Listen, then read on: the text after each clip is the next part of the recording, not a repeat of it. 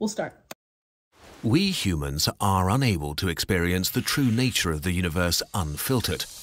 Our senses and brains can only process a fraction of the world. So we have to use concepts and tools to learn about the true nature of reality. Technological progress not only widened our knowledge about the universe, it also made us aware of unsettling possibilities.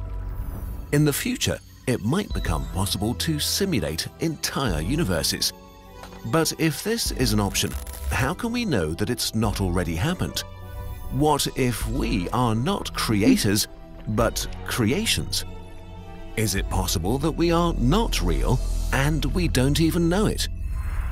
It's possible. When I have existential thoughts, I consider simulation theory. And that actually started for me back in the 2010s when I was playing that video game called The Sims. Although back then I didn't really have words to articulate what I was thinking. Now, do I think simulation is the most probable explanation for what we know as the universe? No. But I don't discount it either. I remember there was a show on Netflix called Dark. It's German. I'm not sure if it's still on anymore. But on there, one of the characters said, if the world is a simulation, then deja vu is a glitch in the matrix. And that made sense to me, considering that the longer a simulation runs, the more likely it is to accumulate errors. So that could result in a deja vu experience or a Mandela effect moment. Except I'm not completely sold on Mandela effect just because our memory is so fickle. But if you have a good video on that that you want to recommend to the channel, please do. Anyway, there's no conclusive way to know whether we're in a simulation or not. We're limited by our own understandings of technology. And then we have no clue what type of technology our simulators are working with, or even if they have the same method of calculation we do. So I'm excited for this one. This channel was highly recommended by quite a few subscribers, so here we are.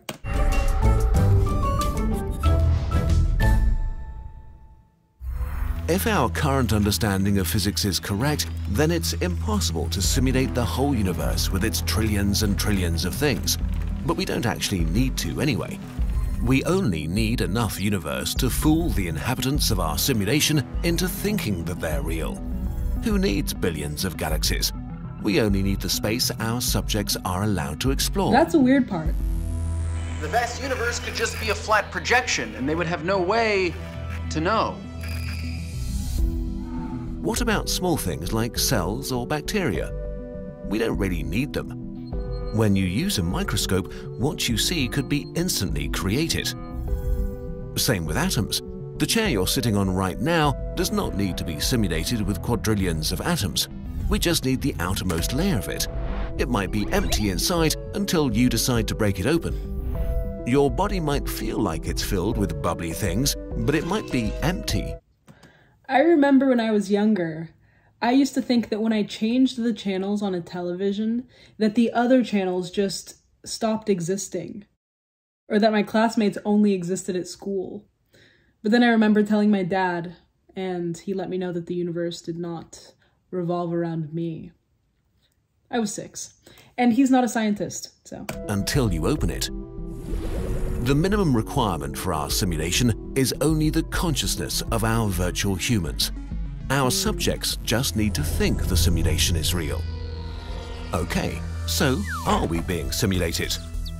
Well, maybe, but there are a few conditions that need to be met.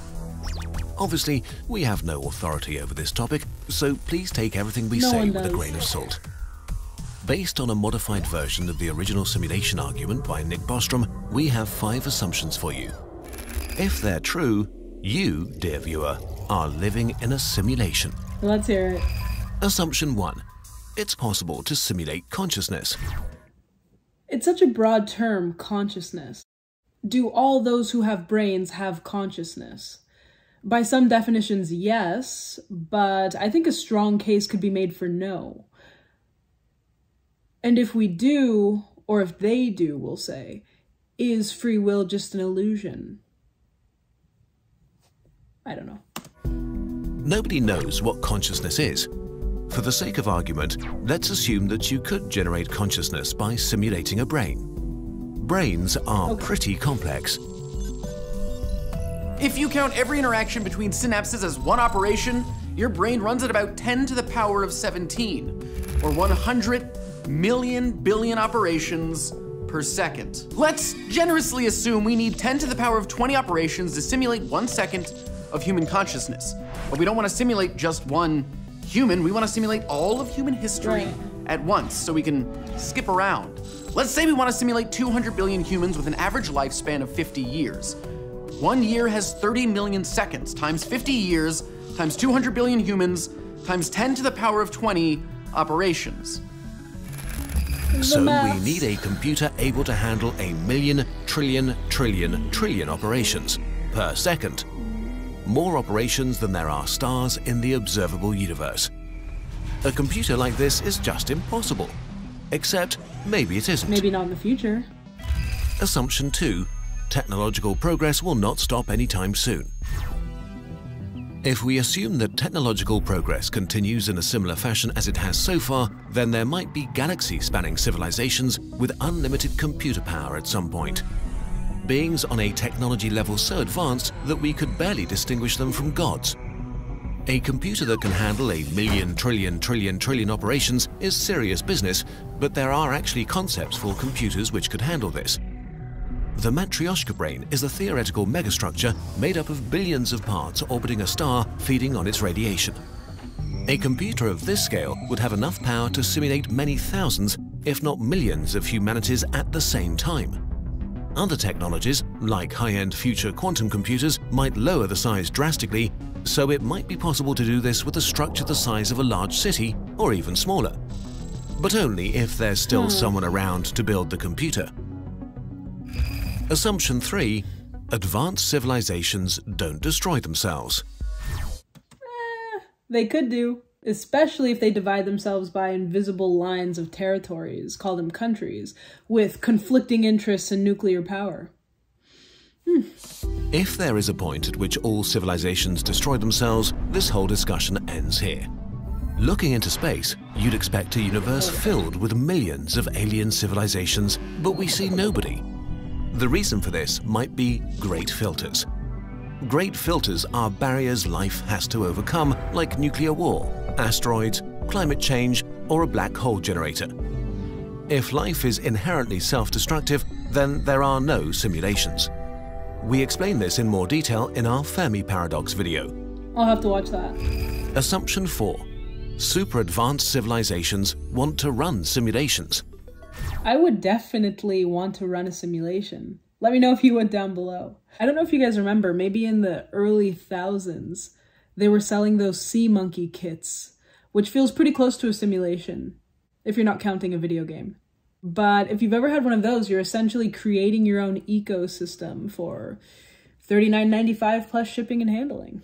I don't know if they still make those anymore. I'll check after this. When we speak of post-human civilizations, we don't know what we're dealing with. To think we know what beings as powerful as gods want is pretty arrogant. Imagine the smartest ant on Earth living next to an amusement park. It's curious about what humans are up to, so you try to explain. Unfortunately, the ant just doesn't understand. The concept of roller coasters and standing in lines and holidays and fun doesn't make sense to an ant living an ant life. It's the same with us and a post-human being. Hmm. Compared to them, we are ants. Running simulations for fun or science might be an absurdly stupid idea to them. But if they do want to run simulations for whatever reasons, and assumptions 1 to 3 are true too, then the chances are not zero that you are living inside a simulation. Assumption 5.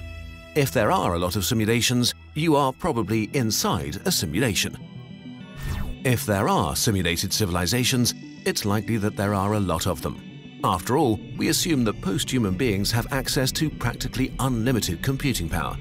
So if they run simulations, it would be convenient to run millions or even billions of them. If there are billions of simulated universes, there are probably trillions and trillions of simulated conscious beings, which would mean that the vast majority of all conscious beings that will ever have existed are simulated. So for every conscious being made of flesh, a billion simulated ones exist. Since we have no way of knowing if we are simulated or not, in this case, the chances of you being one of the 999,999,999 simulated ones are pretty high. So what you consider reality NPCs. might not be real at all. Bots. You really might be mm. simulated. All of this is based on a lot of assumptions that we can't really test right now, so many scientists disagree with this whole thought experiment. So don't burn your house down to test if there will be glitches. If you are simulated, not that much changes for you. You might be on a small planet speeding through eternal nothingness, or a simulation inside a computer. Your existence does not become more or less scary and bizarre. All we can hope to do is try to live good lives and have a good time. And hope that if we actually are simulations in a supercomputer, nobody trips over the power cable. Oh. Oh. Oh no. I think I just unplugged the simulation. But what if that doesn't matter? What if we are in one right now? What if you are simulated? Jake over at Vsauce 3 is looking into that. Click here to watch Not his me. video and subscribe to his channel. Well, thanks for sending this one over. And to their last point, I don't think much would change for me if I found out that we were in a simulation. I just don't think that it would make the human experience any less real for us. If I had a headache, it would still ache. If I stubbed my toe, I would still curse. Maybe what it would change is there might be more emphasis on the gamification of life. But even then, I think there will always be people who are playing checkers and people who are playing chess. So it's really hard to say. And then who's to say that our simulators aren't in a simulation themselves? And if we are, did they program us to think about the possibility that we are in a simulation? Or did we just figure that out and they're somewhere sweating behind their keyboards? We'll never know. There are no answers to this one. No definitive anything, just something to think about when you can't sleep in the middle of the night. So, for a literary recommendation, when I read the title of this video in my inbox, it's called Is Reality Real? The Simulation Argument. I immediately thought of a book that gives the other side of this, the anti simulation theory argument. It's called The Doomsday Calculation. I read that book last year, but I think that I will have to end up rereading it sometime in the future when I have a better understanding of everything. So I'll circle back. But if you've read it, let me know if you liked it. Or if you can think of another simulation theory esque book, let me know. I'm not sure of the author's name for that one, so I'll have it for you in the bio. But I did have quite a few recommendations for this channel, as I said. It's called. Actually, yesterday, one of the comments on my video was very funny. Hold on, I wrote it in a note because I liked what it said. By a subscriber called Sucifer. And he said, part of being smart is being so within the known limits, within your known limits in public. So I'll say that again, more cohesively. Part of being smart is being so within your known limits in public.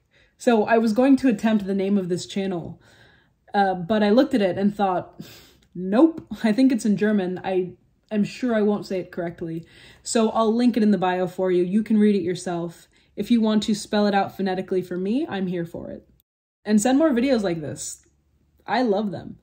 Let me know what you think about any of this simulation theory, any similar theories. And that's all I've got. As always, thank you for watching with me. Catch you next time.